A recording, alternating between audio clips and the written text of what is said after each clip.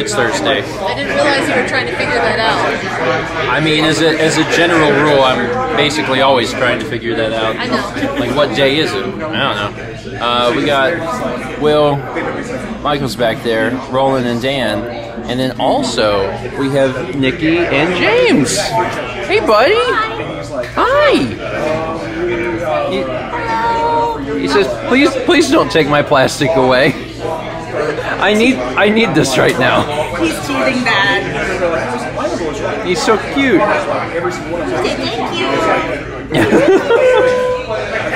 This is um, this is actually the the first lunch bunch that we've come to Kaminsky's because we came here with uh, Emil and Massey like a week and a half ago, and the sandwich that I raved about then, the Montauk, I was like, that's real good. I want to go there again. So we both got it.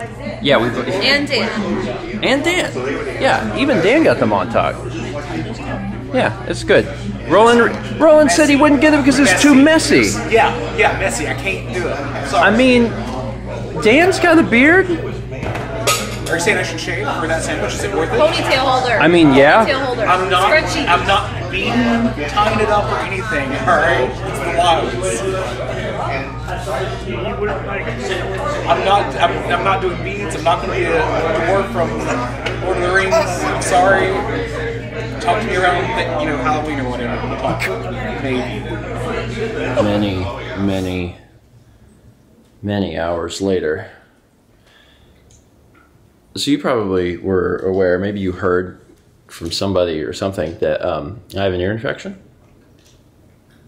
It's true. Uh, when we got home from, uh, well, when we left, when we left lunch, we had a few errands to run, and then um, when we got home, uh, I slept and I just kept sleeping.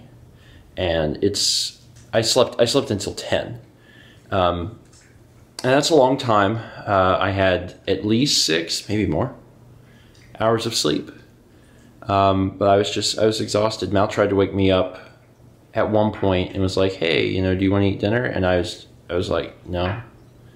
I'm I'm just so tired, and um, I think the important distinction to make is that like I don't feel sick in a traditional sense, because to me sickness is is almost always affiliated with I don't know like cold like symptoms, and I don't have any of that. I feel fine otherwise. It's just I've got you know discomfort in my ear, and um, I'm tired. I'm just I'm I'm actually quite exhausted. I guess the infection is just causing me to be really run down. Um, so I I went back to sleep and I kept sleeping. Now it's um now it's after ten and uh, you know Mal didn't eat dinner and she's hungry and I'm ready to eat. So we're gonna go grab something because that had actually been the plan before was to go get something I didn't plan on sleeping all day, but um, I did. So now we're going to go grab something. And our options are pretty limited at night, so we've decided we're just going to go to Waffle House. And when we do that, we typically um, extend the offer to Dan and Lindsay, so they're going to meet us there and enjoy either a late dinner or like a snack. Everyone needs a snack of waffle. So, uh, yeah, I feel. I mean, I feel better because I clearly needed some rest. Um, but you know, no one wants to sleep all day. That's not great. But it is what it is. Let's eat a waffle. Dan, thanks for um for being here, and you as well, Lindsay. And I made it. On Well, I mean, yeah, but It's you're. Thursday. I mean, yes, it is. It is. It is Thursday. Yeah, I mean it's, it's a little late. Oh. Midnight is not a thing. Yeah, Lindsay didn't. Lindsay didn't make it to lunch this morning, so we just had to do dinner to fix. it. Yeah. It's like twelve thirty. Do you think it's ten something? It was when we left. We sat and talked for a while, but that's all right. I was as- I spent most of the day asleep, so like any additional time that I could get to just not do that seemed beneficial. So I took it. You want that jam? No, it's strawberry. Did you do that on purpose? No, but every time that happens, I remember you hate strawberries. one of the things that they told me would be helpful um, for me is if I got some yogurt. Well, specifically like probiotic yogurt, because when you're taking antibiotics, your stomach gets all messed up, and that this would help. So we've come over to Walmart in what is essentially like the middle of the night to try and pick out yogurt. Honestly, it makes me feel like I'm in college.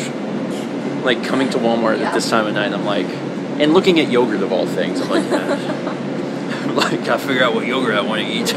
I ended up going with uh, Activia, by the way.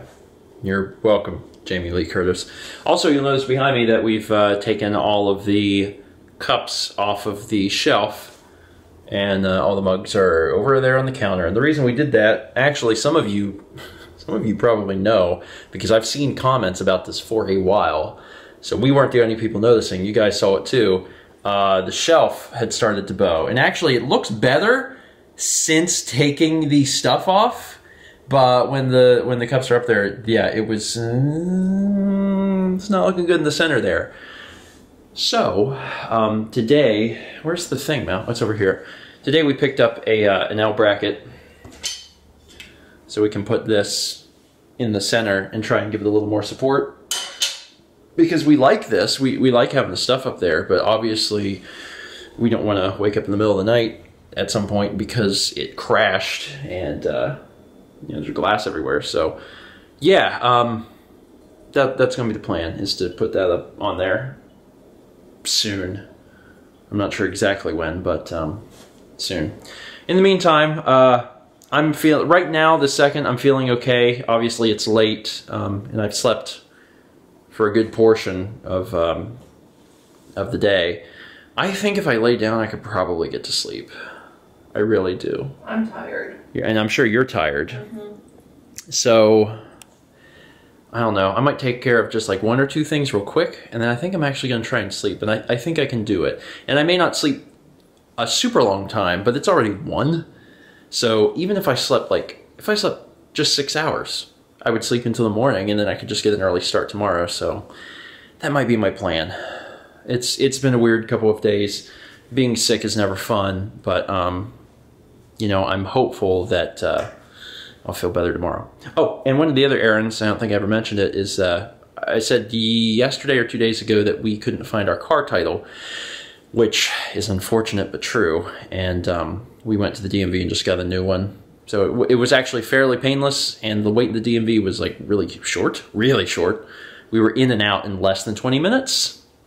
We have a good DMV. We also have a good DMV. Shout out to those people. They're they're fantastic. I don't know if it's all of our state, but at least ours is like super tiny. Yeah. So they only really have seating for 10 people. Yep. In Appleton, where I grew up, there's seating for like a hundred. Oh yeah, and actually, um, I don't remember what it was for, but at some point I was at that DMV with you, Yeah. and I remember there being that much seating and thinking like, this is real different from the one that I know because, yeah, there's very small amount of seating in our DMV, and it's it's tiny but it's efficient, and like I said, less than 20 minutes from when we parked the car, we were leaving, and that seems pretty good. Anyway, so um, at this point, everything's set uh, for um, all the car stuff. We just have to, you know, figure out exactly what we're doing and make that decision. But uh, when we do, if we want to, um, like when we when we get the car, if we want to trade in the Escape, we can, and um, we may elect to do that. Doing a private sale could be a little difficult, just for the fact that like. I don't want anyone to come back and be like, there's stuff wrong with the car because I know there's stuff wrong with the car and I would tell them there's stuff wrong with the car, but there might be stuff wrong with the car that I haven't even seen yet. And to be frank, I don't feel like the car is terribly safe. And I don't really want to put that on someone. I think that the Escape would be best probably just Scrapped. scrapped. I mean, it's an old car. It's had a lot of recalls. Um, just being completely honest, there's been some things that have needed to be fixed in terms of like Ford mails you the thing. It's like there's a safety concern, and like they've never they've never been fixed. I mean, that's my fault, but that's all right. It's fine. Um, so it's one of the reasons I haven't used cruise control in a few years is that there was a thing that was like, hey, if you use cruise control, your accelerator can get stuck, and then you'll like not be able to stop the car. So instead of taking it to a dealer, I was like, oh, okay, so don't use cruise control, and that's how I that's how I live my life. It's a little indicator.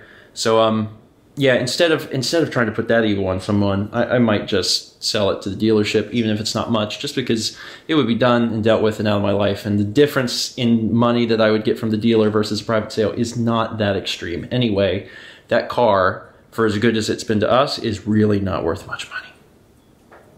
So, things to consider soon, because we'll be moving forward with the car stuff.